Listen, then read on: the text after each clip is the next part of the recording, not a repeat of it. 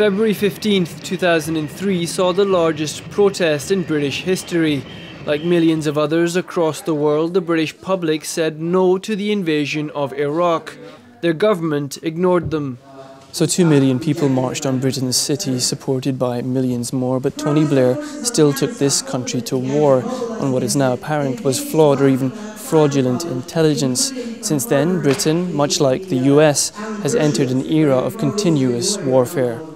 It pains me when good people, especially in the United States, who were hostile to wars when Bush was waging them, become passive when Obama wages them. Today, in a world more complex and with a so called war on terror that has spread to many more fronts, Britain's anti war movement is taking stock. Effectively, what we notice in the United States today is imperial continuity. More drone attacks on Pakistan and Afghanistan and Yemen and Somalia under Obama than there were under Bush. The President of the United States has now the power, legal power, to order the execution of any American citizen, leave alone citizens from the rest of the world. That is the world we live in. So, despite boasting the support of millions, has the anti war movement essentially failed in its objectives of stopping war or even affecting change in foreign policy?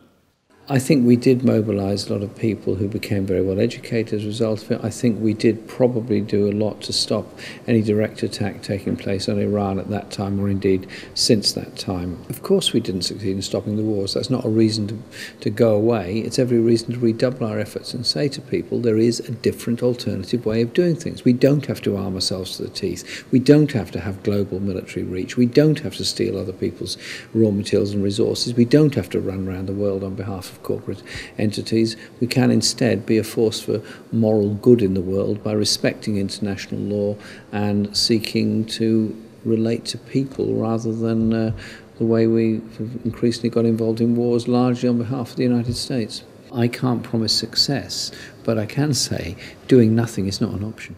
It is true, however, that while there is no public appetite for further wars abroad, an opposition to Britain's ongoing military action in Afghanistan has grown. The numbers at public protests have shrunk in recent years. There is certainly that opposition. The reality is that at the same time, we're going through a huge economic crisis where often people's priorities are bread and butter issues like housing, jobs, and everyday issues. So I think Western foreign policy is something actually most British people are actually concerned about, and they do oppose those interventions, including the occupation of Afghanistan. But at the same time, at the end of the day, if you're struggling to, you know, heat your home or feed your kids, then there are other priorities. Perhaps one of the most effective tools going forward for the anti war movement is to highlight the link between the costs of wars abroad and cuts in public spending at home building ties with the UK's growing anti austerity movement. The government can always afford to shell out money for wars in Afghanistan, but cuts here where they say these services are not affordable, it just shows that actually we should be fighting instead of war, waging war on other people, we should actually be defending our services here instead. As long as this system shows us the face of war on austerity, we will show in opposition an anti war movement and an anti austerity movement which brings together in unity the kind of forces, the only kind of forces that working people really have their strength in numbers and their capacity to organise. That is what this movement has, in the end, always been about. The struggle for success in the working class movement is the struggle for unity. Without unity, we cannot win. In unity, we can take down the warmongers and the profiteers. There were also calls to do more to counter the increasing use of drone attacks, which often result in substantial civilian deaths. A tactic which anti war campaigners argue is counterproductive and will ultimately increase the risk of terrorism at home. Let's be clear the drone wars are about making sure that there are no body bags of American and British and European troops coming back from the theatres of war. That's what the drone wars are about. Now, if they move to drone wars, we move after the drone wars. What the Obama administration has done, worse than Bush, is sanitized killing. That's what drones are. That you have men at computers away in America um, killing people in Pakistan, in Yemen, in Somalia.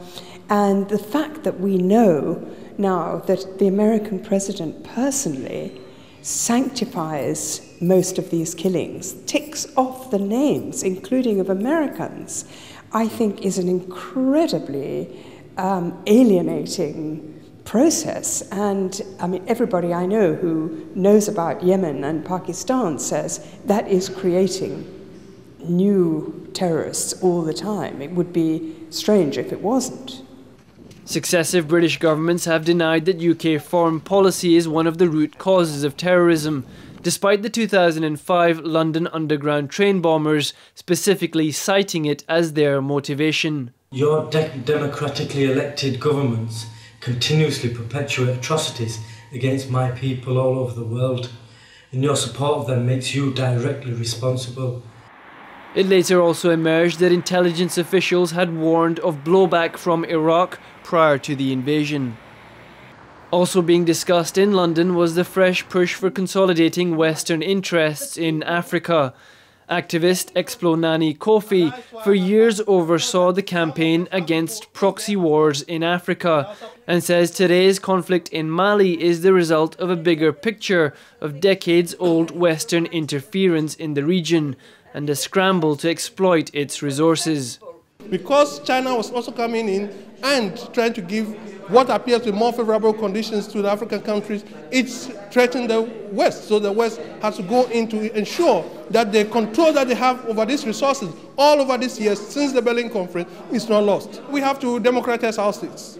To strengthen the grassroots control on governments and direction of policy. And if we have grassroots organization control, uh, uh, then we would be able to even defend the state. There were several other issues under the spotlight, but one central to many of them was the West's continued support for Israel. We do understand that the crux of the problem in the Middle East today is the Palestinian Israeli conflict, and all other problems are transient. They're not going to stay there. We know that. When is the international community has to understand that they cannot put the victimizer and the victim on equal footing when they talk about this conflict. Looking back at Iraq and 2003, Sami Ramadani opposed the regime of Saddam Hussein, but he was also opposed to the invasion. Ten years on, he says the US and the UK have left a poisonous legacy behind.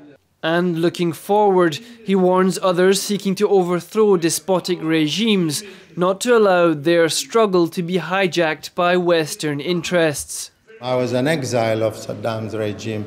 Uh, we struggled against his regime for 35 years uh, of Ba'athist rule and so on. Uh, but the question is always posed would intervention and imperialist back change bring uh, anything good for the people? Would it improve the situation? No. My view was, and the view of most Iraqis overwhelmingly, was no.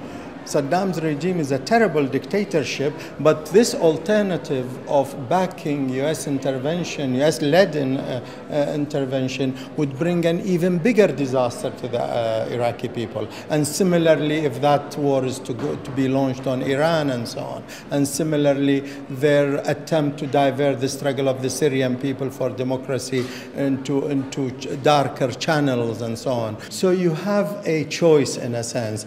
You, you stay opposed to dictatorship, you stay uh, with your people demanding for democracy, but if you don't link that to opposition to imperialist intervention, then the struggle will be led into a blind alley. Hassan Ghani for The Real News, London.